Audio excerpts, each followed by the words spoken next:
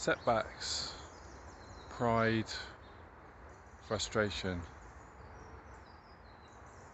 Um, in the last couple of days, an injury I had last year, which I thought I got rid of, has resurfaced, and it's really frustrating. Just come out of nowhere, no idea where that's come from. Um, it's something that I uh, I developed after the first race of the Grand Slam last year. Um, I ran through it, I managed it, it was fine. Um, it got me through the whole of the Grand Slam.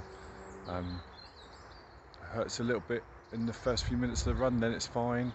Uh, but then I'm hobbling around the house uh, and it's a bit achy, a bit uncomfortable the rest of the time. So this morning I was in two minds. I, I took a rest day uh, Monday as usual, took a rest day Tuesday, um, an extra rest day because my groin was playing up actually, but this time around it's my ankle.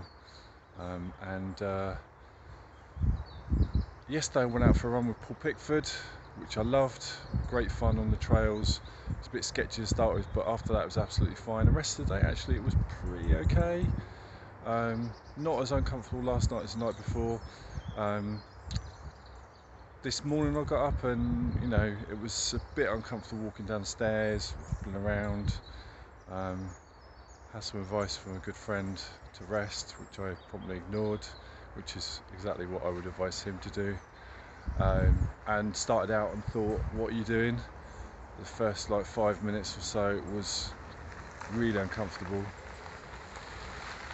And uh, and um, what I then what I then found was that as I used into the run, it's okay, and it's like last year. Um, so it's one of those frustrating things. It's difficult to know what to do. Um, part of you says, stop being so proud, stop being an idiot, and uh, just rest. Um, a week's rest probably would do me good. But then part of me also says, do you know what? It's a little bit of a niggle. It's fine. Um, it's not getting worse. But then maybe I'm going to make it worse. So it's it's those it's those questions that we have about these injuries. And when we're runners, we just want to run. We get frustrated. Um, we don't want to stop. Sometimes we need to. Um, so I don't know. Got a big run coming up on Tuesday. Um, I'm going to see how it is today. I'm minded to maybe take a few days off and just give it a chance to settle. Uh, but hopefully it's it's going to sort itself out and uh, we'll be good. But hey, runners' problems.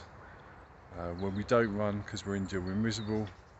When we run because we're injured, we get frustrated with ourselves. So hey ho. Hopefully it's it's going to be nothing. And uh, I suppose my my point with this particular video is sometimes it's really difficult to know what the right thing to do is. And as I've said in previous videos, just need to make a decision and then adapt as we go. So I decided this morning to run. Actually, it feels like it's worked out okay. My, my, my foot feels okay. I'll find out later if it's worse than yesterday or if it's okay. Um, and then I'll make a decision based on that. So, um, but again, pride comes before a fall. Sometimes there's a point where you say, don't be an idiot, don't run. Um, I made that decision on Tuesday when I took an extra day off. Maybe it's time to just have, you know, have three, four days off in a row and, and see what happens. Um, and embrace the other side of me, all the other hobbies I have apart from running.